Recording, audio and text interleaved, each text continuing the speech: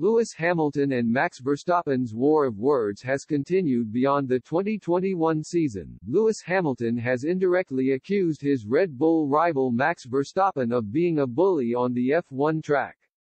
Hamilton and Verstappen engaged in a rivalry for the ages last season, as the 24-year-old denied him a record-breaking eighth world title in a controversial Abu Dhabi Grand Prix finale.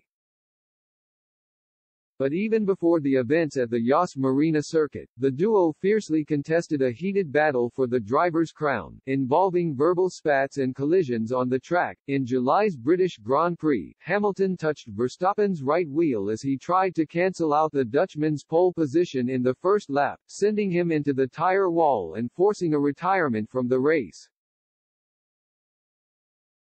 Then, in September, both drivers had to retire from the Italian Grand Prix after Verstappen's car mounted his Mercedes rivals after hitting a curb on a corner, with the 37-year-old claiming he was lucky to be alive after a wheel hit him in the head. Netflix will showcase all of the drama and the behind-the-scenes reaction in the highly anticipated season 4 of Drive to Survive, airing on March 11.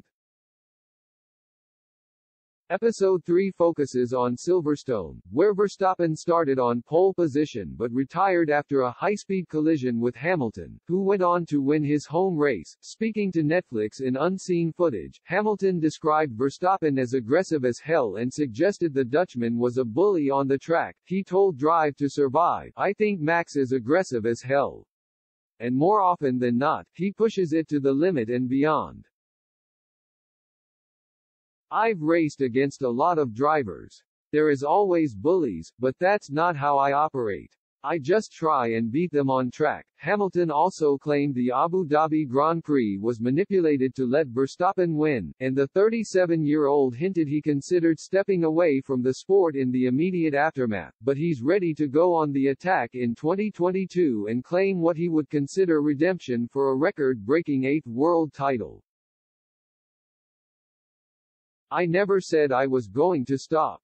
I love doing what I do, Hamilton told the upcoming Netflix documentary. It was a difficult time for me, a time I needed to take a step back. I had my family around me and created great moments, then I got to a point where I decided to go on the attack again and wanted to work with Toto, Wolff, and George Russell.